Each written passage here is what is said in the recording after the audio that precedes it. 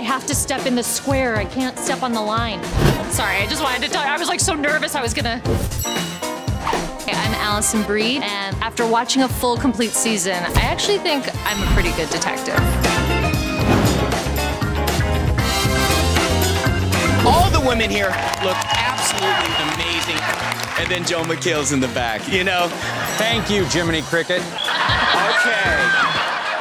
I'm a big fan of the show. I love Ken. He's a good friend of mine, and I watched every episode last season. I would always text Ken when I was really shocked.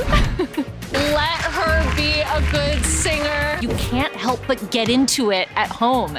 It's genuinely fun to try to guess if the people can sing or not, and it's more difficult than you would think. She does not have a good voice. You're out of your mind. you are out of your mind. Wow.